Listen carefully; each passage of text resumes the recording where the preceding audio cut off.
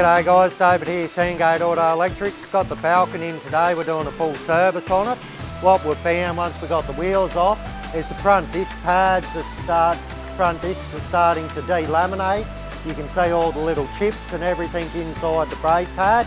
Once that starts going, they do tend to just break apart really quick, which could cause the wheel locking up, um, Eh, could cause you to swerve, like pull your car off the side of the road very severely, could, could cause a crash. So if you've got any questions about your brakes, if they sound a bit funny, don't feel like they're operating properly, please come down or feel free to give us a ring. Thank you.